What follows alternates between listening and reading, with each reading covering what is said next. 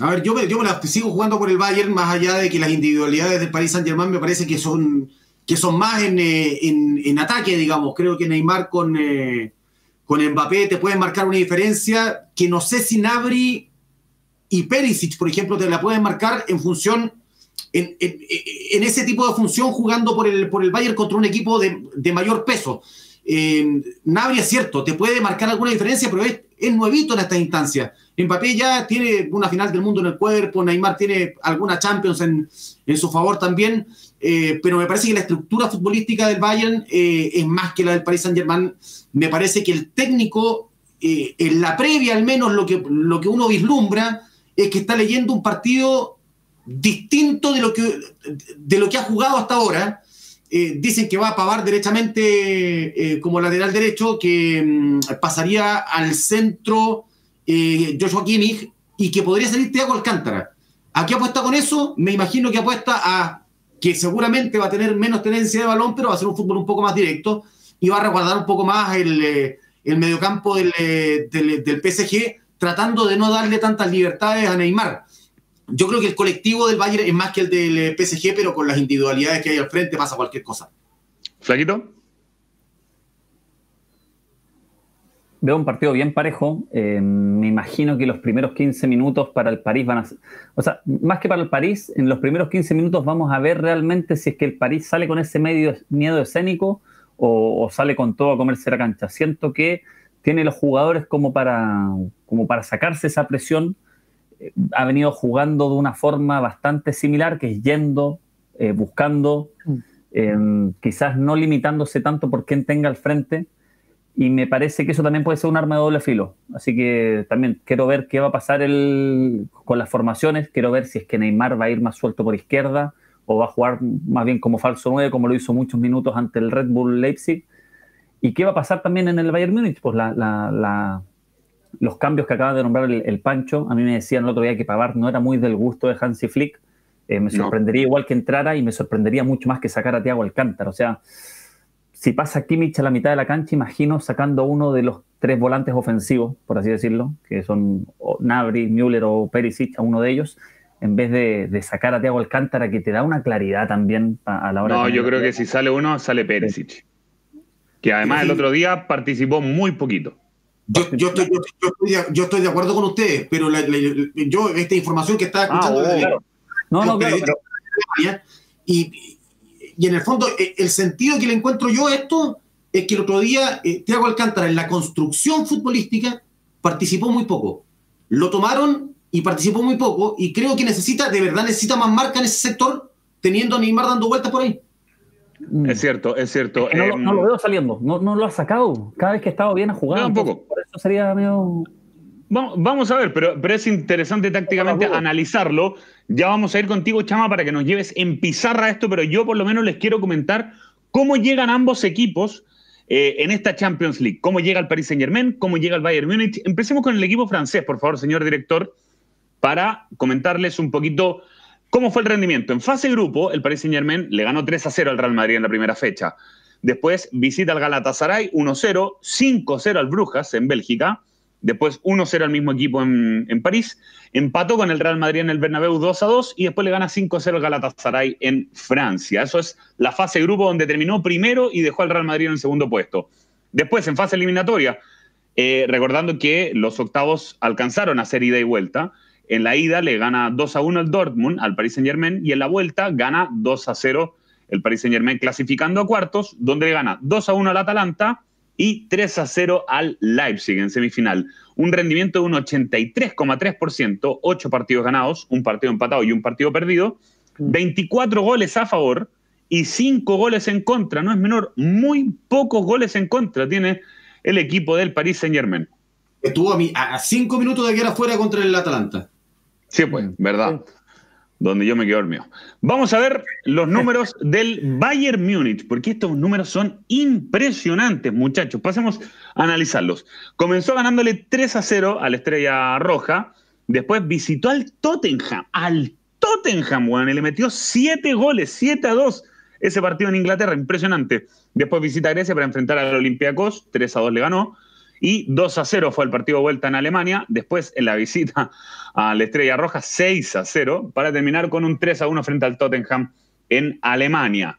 Y en fase eliminatoria enfrentó al Chelsea en ida y vuelta por octavos, como fue 3 a 0 en Inglaterra, ya estaba cerrado ese partido, y en la vuelta fue un 4 a 1.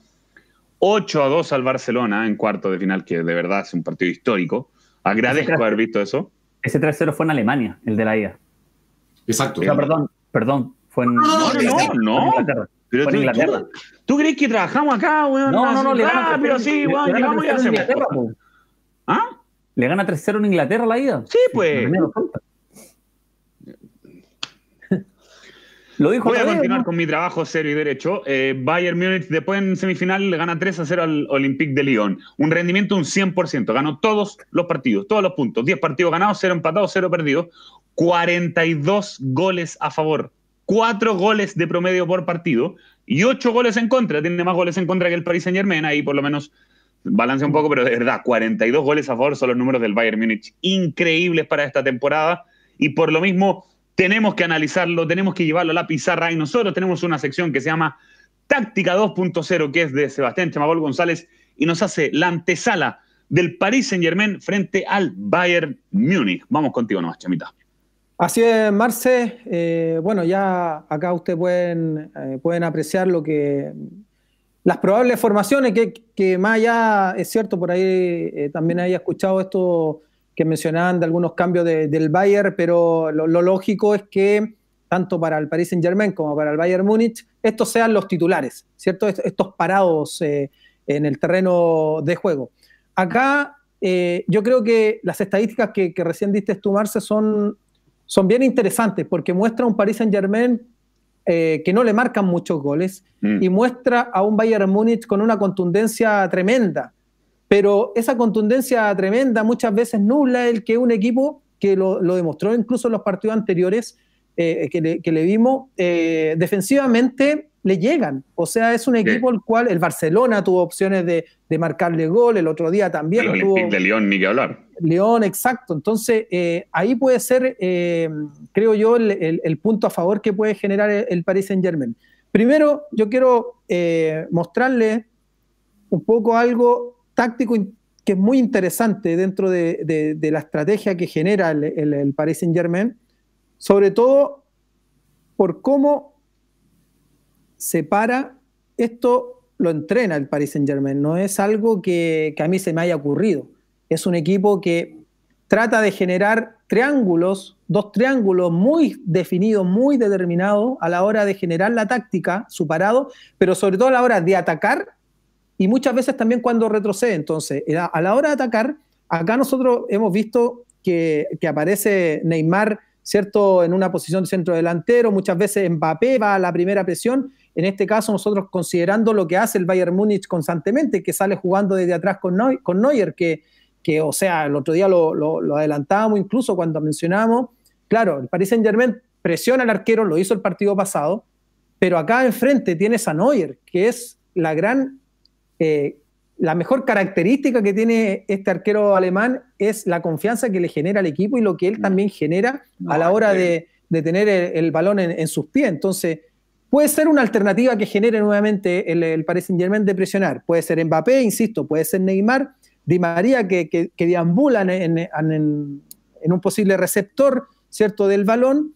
Y acá la función que genera Herrera, muchas veces Paredes que va para acá, Marquinho que se centraliza eh, un poco más también en ese sentido, y las líneas que las termina adelantando el, el, Paris Saint Germain, ¿cierto? A la hora de buscar la presión, que ojalá, y creo yo, no ojalá, pero yo creo sí que, va a ser una, una tónica en este partido, que igual lo va a generar el Paris Saint Germain, más ya a lo mejor no sea algo habitual y que a lo mejor en la liga tampoco lo hace tanto en la liga francesa, pero considerando lo que la virtud del, del Bayern Múnich de salir jugando desde atrás, yo creo que lo puede, lo puede hacer, sobre todo teniendo jugadores rápidos, habilidosos y jugadores que por ahí le pueden generar la oportunidad de recuperar y definir, que puede ser algo determinante en el partido. Ahora, cuando retrocede, obviamente, es un equipo, ¿cierto?, que se mete atrás, que busca... Ahí, y vamos, a cerrar. Ahora, la virtud ofensiva de lo que genera el Bayern Múnich. El otro día lo hablamos, esta función de un jugador como Müller, que la verdad, o sea, tú lo puedes ver presionando, lo hace, eh, puedes eh, verlo como, no sé, pues hay un cambio, Lewandowski llega a esta zona, Müller se, pone, se posiciona también eh, en el centro del ataque, lo sabe hacer constantemente, puede ser un apoyo. Lo de Nabri, el otro día ya lo demostró, sin ningún inconveniente en generar una diagonal, sin ningún inconveniente en, posicionarse en una posición donde también aparece Perisic, lo mismo Perisic que se cambia muchas veces, si bien es cierto el otro día, como decían ustedes, no apareció tanto, para mí también tácticamente un jugador súper importante, porque Perisic eh, también retrocede a ayudar muchas veces al Alcántara, incluso cuando Alcántara sube, se posiciona en la hora más ofensiva, Perisic es el que deambula un poco más que, que Nabri, que más siente el ir hacia adelante. Eh, y después, bueno, la función total de Perisic eh, centralizándose y generando ser el bloque de un posible contraataque del equipo contrario. ¿Algo querías comentar, Pancho? Sí, que hay momentos del partido donde el mismo Perisic le, cubre la espalda a Davis cuando sube. muchas veces el partido está posicionado incluso como lateral, si cumple una función. Yo creo que por eso, por eso lo prefiere por sobre Coman. Coman no te va a cumplir esa función. Coman te puede ganar muy bien la espalda, te puede ganar mucho mejor que él la espalda del, lateral contrario, pero la función defensiva de Perisic es importante ahí. Porque la función ofensiva de Davis es impresionante. Impresionante. De verdad que es un recurso que hay que utilizar mucho. Y ojo, lo puede pasar muy mal ahí quieren, que no es lateral. Es que yo creo que esa es una preocupación porque el otro día dejó muy mal a Semedo, lo dejó retratado frente a la opinión pública y yo creo que va a intentar hacer lo mismo. O sea, tiene siempre, con esa velocidad siempre va a tener todas las de ganar y sobre todo con el París, que es un equipo que no lo hemos visto tampoco tan bien en faceta defensiva. Te sabe defender porque te presionan en, en tres cuartos, pasadito a la mitad de la cancha, pero siendo atacado constantemente al París no lo hemos visto. Ahora, ahora ambos laterales que tiene el, Bayern Múnich, ustedes bien lo, mencionaban, la subida de Davis, que quizás lo hace mucho más eh, sin balón o muchas, más veces en velocidad a la hora de llegar acá, a diferencia de Kimmich, que Kimmich se suma mucho más cuando el equipo está en construcción en esta zona. ¿cierto? Y colabora mucho más eh, con, eh, con Müller, con Nabri, con el mismo Perisic muchas veces que está, o sea, un equipo que, que de alguna manera genera la posibilidad de, de, estar en campo contrario y también construir una, jugada. Ahora, eh, hay una característica importante también, si bien es cierto, genera algunas fragilidades eh, defensivas el, cuadro del, Bayern Múnich, eh, es importante considerar la velocidad tanto de Davis como el mismo Alaba, Boateng, o sea, la velocidad en las coberturas. han venido mostrando, sobre todo el partido anterior, yo lo destaco mucho, que a veces quedaban eh, con posibilidades mano a mano, algunos, algunos jugadores contrarios, pero la velocidad de Davis a la hora de generar las coberturas, o sea, terminan siendo determinantes. Y aquí es cuando yo digo, a ver, el, más veloz quizás puede ser Mbappé, que puede generar ese mano a mano con, con un Davis. Pero Di María yo no sé si le ganen velocidad a Davis cuando se genera a lo mejor un, mano a mano, un duelo. Eh, ahí va a entrar la virtud, las características individuales y la técnica que tienen jugadores como Di María, que te puede enganchar con su pierna izquierda, intentar definir. La cubre muy bien. Bueno, Chama, no, sería, ¿no sería una buena estrategia entonces en ese sentido cambiar a Di María con Mbappé? tú pensando, tú tomas Tuchel. ¿Para qué? Para que pensar que Davis se preocupe más de Mbappé. ¿Me entendí? Porque con esa pasada constante, con la velocidad de Mbappé, él, mm. él sí le hace el para a Davis. Di María Totalmente. Totalmente. Eh, sí, eh, yo creo que puede ser una estrategia. ¿Cómo? Draxler, por una cuestión física, lo imagino más, más como para ir a marcar. No sé por qué. No, no, no, pero no, no, no, es que flaco, flaco, flaco. Yo estoy hablando de que si tú le pones a Mbappé en el lado de Davis, no va a subir tanto el jugador del Bayern Múnich, porque va a tener a su espalda el jugador más rápido de la cancha. Es que yo creo que va a subir igual y que ahí Alaba se va a tirar a la izquierda, que Boateng se va a centralizar y que el lateral derecho eh, también se va a cerrar un poquito más. Imagino algo así. No, me imagino a Alfonso Davis restándose del ataque por, no, obvio, Pero, pero te tienes que medir. Tienes que equilibrar. Obvio, obvio, pero los dos equipos. Sí, es, un tema que tener los, los, dos equipos. O sea, por un lado tenías a Alfonso Davis, por el otro tenías a Neymar y Mbappé. O sea, ojo, ojo que Alfonso Davis el otro día se mandó un ataque contra, contra Messi, digamos. Que un debe ser un poquito más que Mbappé. Pero Messi, Messi, Messi eh, no es para pegarle el pelotazo y que te ganen 50 metros del recorrido. ¿Cachai? Messi es con la pelota. Totalmente, totalmente de acuerdo, pero igual lo dejaba. el, tema es que la estructura del Bayern te lo permite, pues, sí. Y yo, y yo por eso creo que la apuesta, la apuesta de Kimmich en el medio no es, no es descabellada, porque finalmente, cuando suba Davis, el que se va a tener que abrir va a ser sí o sí a Lava, para quedar como lateral, y Kimmich tiene que ejercer en ese, en ese momento de segundo central. Tiene que mm, cubrirle el, el, ahora, Ahora, acá yo marco eh, las características ofensivas, mejor dicho, las individualidades ofensivas que tienen ambos equipos. Y si tú te das cuenta, el, Bayern Múnich tiene un jugador más. Un jugador más que te puede marcar eh, eh, una diferencia en, eso, en esos duelos y sobre todo a la hora de, de estar en campo contrario. Porque hablamos nosotros de Di María, Neymar y Mbappé en el Paris Saint Germain. Pero el Bayern Múnich tiene a Müller, Perisic, Nabri y Lewandowski, que, constantemente cumplen eh, esas labores, esas funciones. Si nos vamos al mediocampo, ahí te suma un jugador más el Paris Saint Germain, ¿cierto? Con Herrera y Marquinho, claro.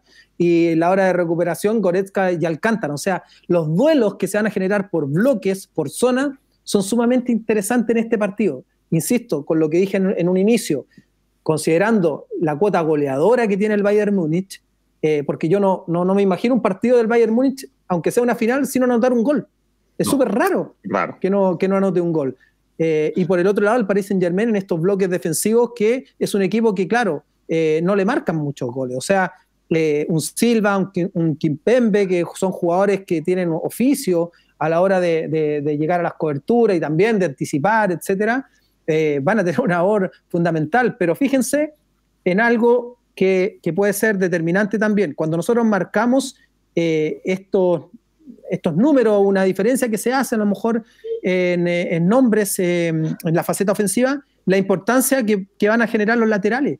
Y acá sí yo le, doy una cuota más relevante y, que puede sacar mejor provecho el Bayern Múnich, que, son con Kimmich y Davis en comparación de, de Bernat y, y Keller. Entonces, la verdad es que ahí es donde pueden, creo yo, ser la, las eh, grandes diferencias que se pueden marcar en este partido. Más allá de, más allá de, las individualidades goleadoras que tienen los, equipos, el cómo se proyecten los laterales que terminan generando el juego. De verdad que tácticamente es muy, muy interesante este partido, muy llamativo. Incluso en el chat hay tremendo debate por cómo se puede eh, llevar a jugar este partido. Hablan de, por ejemplo, los movimientos de Perisic para generar espacio a, a, Davis. De verdad que es muy, muy llamativo lo que puede ser esta final del día domingo. Esto fue Táctica 2.0 con Sebastián Chamabol González,